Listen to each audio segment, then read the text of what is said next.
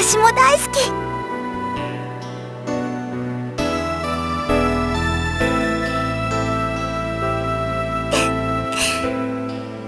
やっとたどり着いた。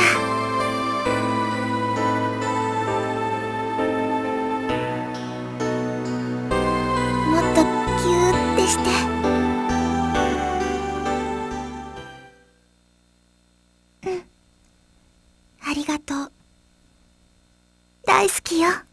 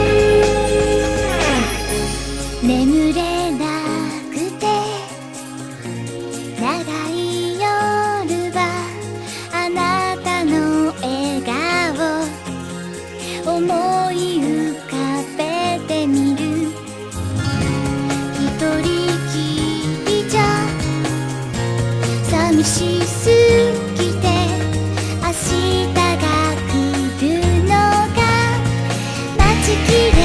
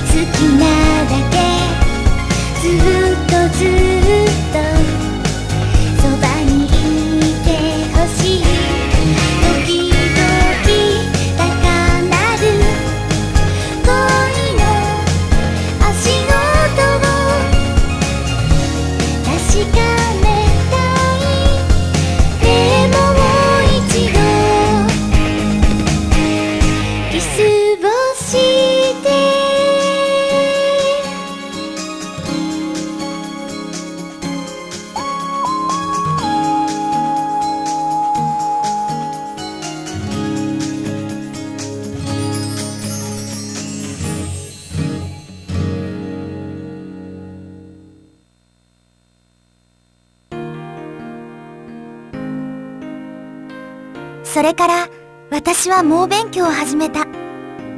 せっかくだから大学へ行きたいじゃない ?4 ヶ月足らずしか時間がなかったけど、彼の協力のおかげで超難関大学に無事合格。これで高校受験失敗の借りを返したって感じ高校と大学で彼とはまた離れちゃったけど、家は近所だし、愛があるからもう辛くない。今日も、きびな高校の校門で待ち合わせ。ね、